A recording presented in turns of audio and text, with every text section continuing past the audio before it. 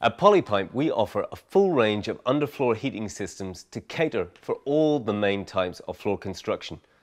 In this video, we'll cover suspended floor systems. In suspended floor systems, the pipes are installed between the floor joists or below the floor deck. The pipes run along aluminium heat spreader plates fitted either across the joists or fitted from below to the underside of the deck. Because of the need to accommodate the joists, suspended floor systems use serpentine pipe configurations.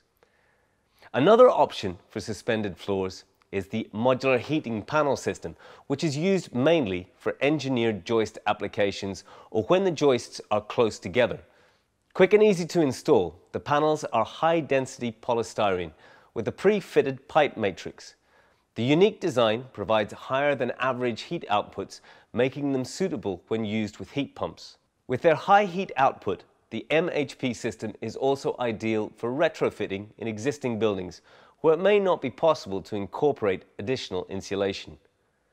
For more information, visit polypipeufh.com.